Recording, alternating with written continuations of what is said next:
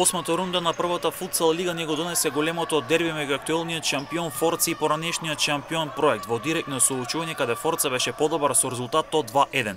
Зоран Левески рано го отвори резултатот за водство од 1-0, а потоа Берат Рамадани постана погодок за 2-0. Во 16-тата минута Никола Анчевски постана погодок за 2-1. Во втори дел немаше погодоци, па резултатот од првото полувреме стана конечен. Форца по надпреверот со сообштение реагираше дека им бил поништен чист гол по резултат од 2-0, со што како што се вели во сообштението би имале пренос од 3-0, а голот им бил поништен наводно поради игра со рака, а противникот пото намалил на 2-1. Предходно, Кеги Мобе дојде до прва радост од како славеше над Железарец со 5-1. Јувентус се рава дома загуби од Клими со 4-8, а пак Црна река и Бутил ги поделија бодовите играјќи 2-2. Вечера во Крива Паланка ќе се затвори колото со мечот меѓу Согово и Шкупи.